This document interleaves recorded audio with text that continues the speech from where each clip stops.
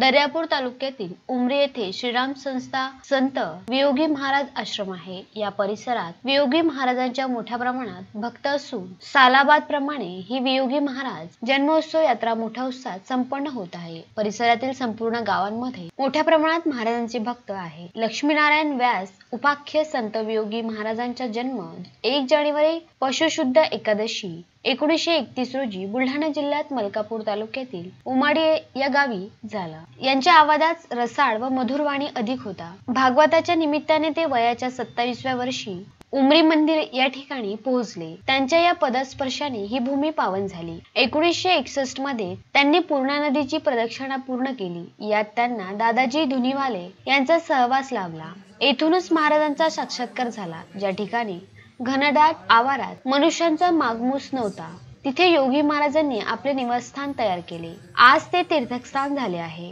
दरवर्षी या ठिकाणी संत योगी महाराजांची यात्रा भरते. दिनांक पंधरा जानेवारी पासून झालेल्या यात्रेनिमित्त मंदिरामध्ये प्रवचनकार स्वामी सारंग चैतन्य श्रीजी महाराज अमरावती यांच्या मधुरवाणीतून भागवत सप्ताह कार्यक्रम संपन्न झाला. तसेच हरिकीर्तन हबप श्री धीरज महाराज चांदूरकर. आतरगाव. हरिकीर्तन हबप श्री महेश महाराज तायडे. कौलखेड. हरिकीर्तन हबप श्री गजानन महाराज चराटे.